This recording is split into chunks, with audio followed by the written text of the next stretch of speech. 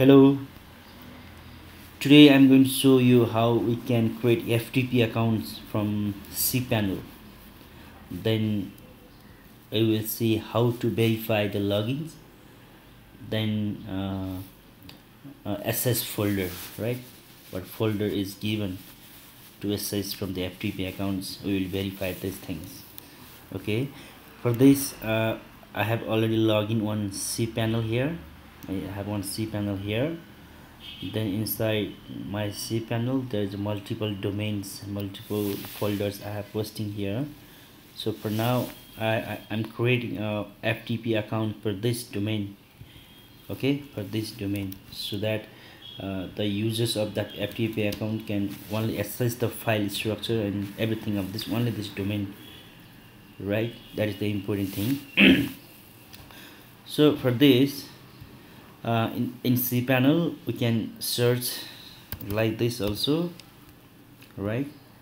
Um, or we can go just scroll down then in the file section we can see FTP accounts. Maybe uh, this is cPanel and in different panels different layouts and uh, things will be there. For in cPanel you can see the easily FTP accounts or you can search from here. Now let's go from here then inside this uh, FTP accounts we can see uh, others FTP accounts also if there is created. Then to create new FTP accounts now we need to create uh, this let's say FTP users FTP users uh, we're creating for this domain name. So we need to select this domain here. Then we need to set password here. Let's put one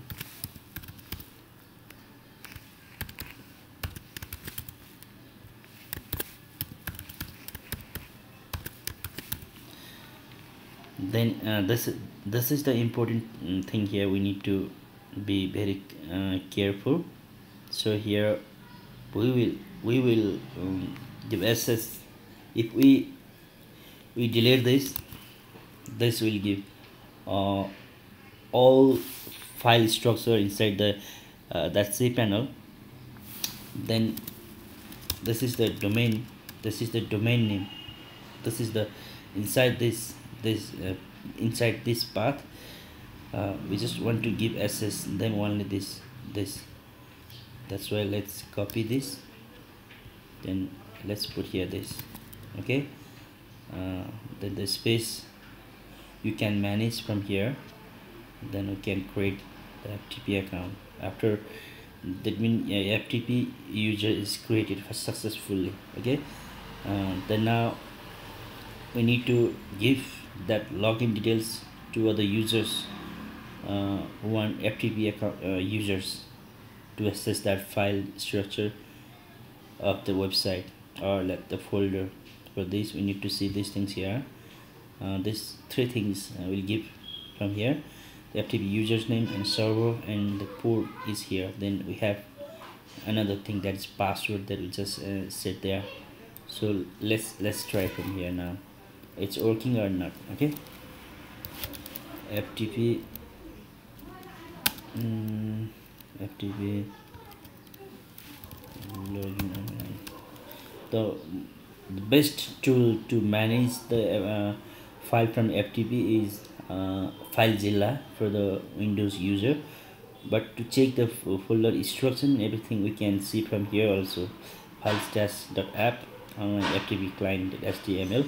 I'll leave this URL inside this description below the, below the description. You can copy from here also. Otherwise, easily you can search in Google as I did before you. Now see here, port is 21. Then let's just set the password here. Password and port username you can take from here. This is the username. it just says about the things this is username.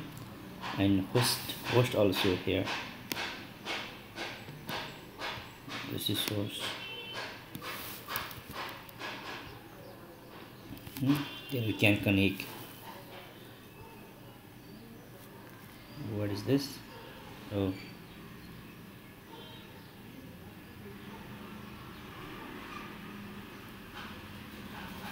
you can do it from FileZilla to manage the files and things in valid account. Oops. what is this? Is it is it assist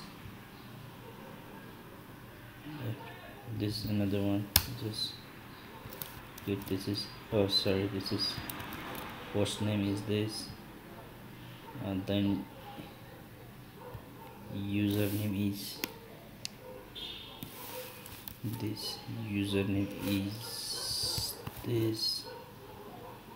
And don't need advanced ftp